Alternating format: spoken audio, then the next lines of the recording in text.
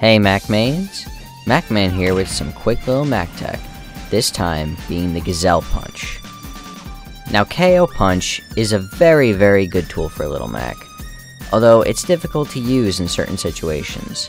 For one, in the air it's much weaker and it doesn't go through shields like it does on the ground. However, just because you're knocked off stage doesn't mean KO Punch is useless.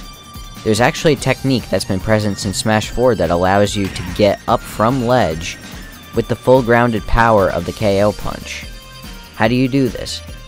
Well, you're going to want to let go of the ledge, jump up, and then wait a split second, and then right as you're about to touch the ground, you unleash your KO punch.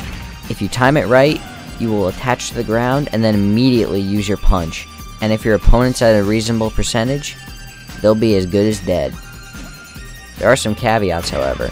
If you mistime this attack, it'll be much weaker, and if the opponent is shielding, you'll be eating a hefty punish.